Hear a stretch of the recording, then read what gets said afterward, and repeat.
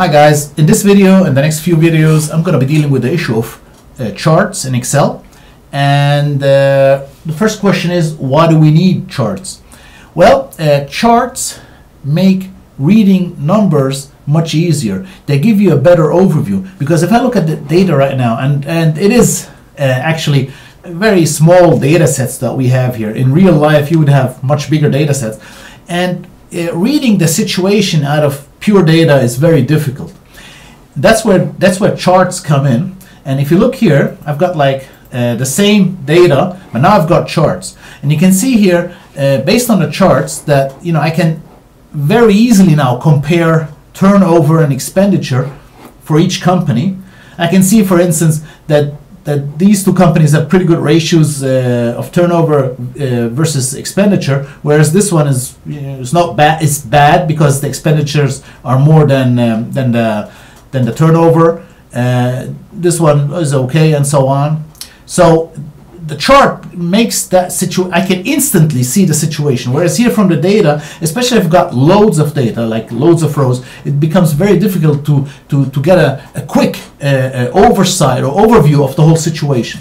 Same thing here. Uh, this is some sort of company which has revenue. Uh, very difficult to read the situation here. Whereas here in the, in the, in the chart, I can easily see that yeah, it's going up and then down steeply, then up again steeply, then down steeply. You see, and that's very easy to see instantly in such a chart. And here in this chart, one can see, uh, let's assume that all these companies belong to one organization or to one group. You can see here the, the, the percentage of profits from each of these individual companies to the whole group. And that's, that's, that's where charts come in. They, they, they, they give instant an instant overview, an instant clarity to a, to a, to a data situation. And we got actually, there are like three main uh, chart types. You've got the columns, and columns are ideal when you compare various objects. For instance, here these companies have got like nothing, no relation between their individual companies. There's nothing, they're not connected to each other yeah so they're individual independent companies and here with the with the column diag- with the column chart i can basically compare the performance of each of these companies in in in, in such a chart uh, versus each other but also i can compare the revenue at the turnover and the expenditure of each individual company. The line diagram is ideal for development of something. For instance here we're dealing with one individual company and we're seeing the chart shows the development of this company's revenue. Uh, and, and there the line diagram uh, the line chart is ideal so uh, you, you, also see that when you see like um, development of stock prices it's also line diagram because uh, line chart uh, because uh, the line chart shows development much better than a column chart the the circle chart uh, or the pie chart uh, is basically uh, uh, for one thing here, and that is it is what it shows you. It is basically the percentage of each individual uh, object to the to the whole. Yeah, so we got one whole thing. In this case, let's say a, a, a, a group owning all these companies, and we want to see the the percentage of the individual companies to the whole. Yeah, you see often you see pie charts in um, elections when you wanna when when they show how much percentage a certain party has in a certain parliament. So that's where uh, pie charts come in. Right. So now we come to the next question: How do we create charts? Well, first of all, I'm going to show you how to delete charts. Basically, you, you click them and you press your delete button. Press delete button, select, and press delete button. Right, let's create a chart. Let's say somebody tells me, create a chart of turnover. Okay, well, natural instinct is, let me just select turnover.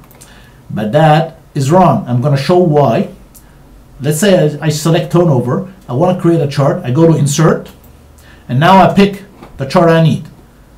Uh, let, us pick column. So I just pick a, a, a, a subtype of column.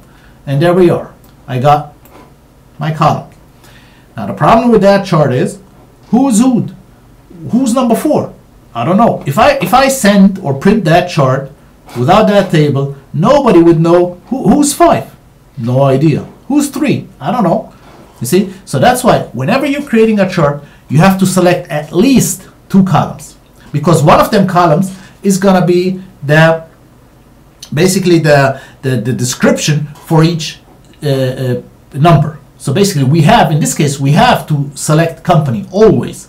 So we have, if somebody says, I need a, I need a, I need a chart of the turnover, right? Company gets selected anyways, and then turnover. And then I go to insert and column and column, and there we go. And now I've got a much better uh, chart here because now I can see which company or, or, or which column belongs to which company. And the nice thing about charts is that once you change your data, the chart changes as well. So let's say I change company name, bingo, okay? Change, and if I change the numbers, chart changes automatically. Okay, so that's the beauty of charts. Right, now that's turnover, and you have here a thing called legend. Well, this legend is basically only necessary if you got multiple columns for each company. But all we have here, we're all the same thing, it's all turnover. I don't need that legend telling me that, so I just click on it and delete it. Now, where do we need a legend? Well, when we have multiple columns for each company. That means, let me delete that.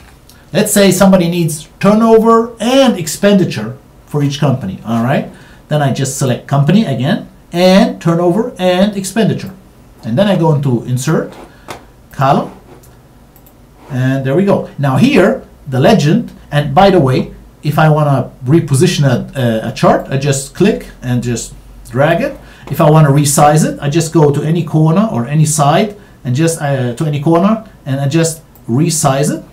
And there we go. Here, I need a legend because I need to know who's blue and who's red.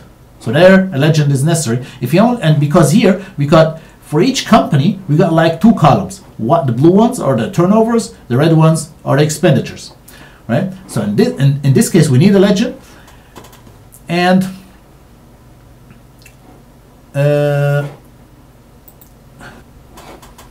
and don't forget whenever you're creating a diagram, don't forget to select the companies as well because we need them down here.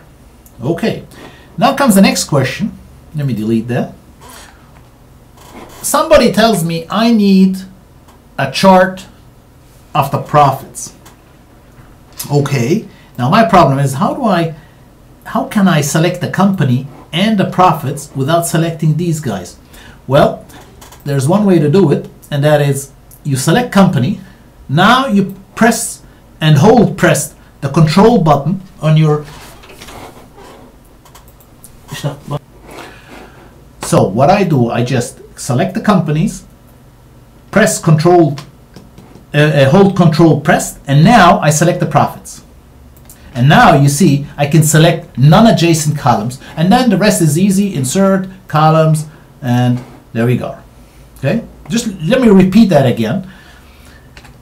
If you have to select non-adjacent columns to create a diagram, uh, to create a chart, what you do you just select one, then press Control and hold it pressed, and then select the second column, and then you go Insert, Column, and there you go.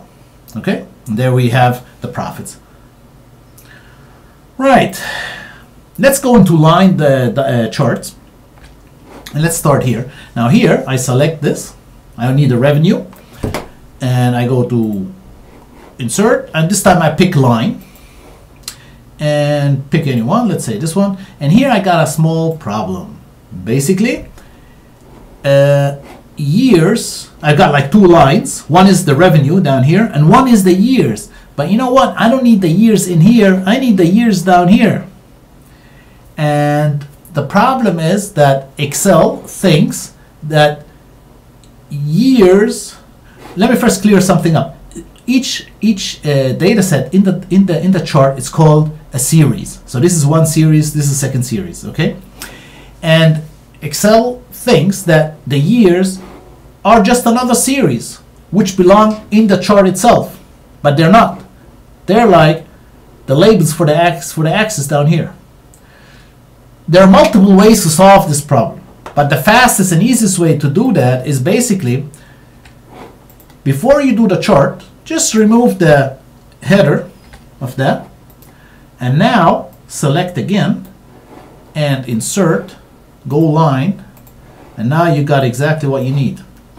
Why does that work? Because by removing that header now Excel sees oh wait a minute this column is different than this one because it's got no header. So this is not a further series to be included in the chart, but or is the is the are the labels for the axis down here.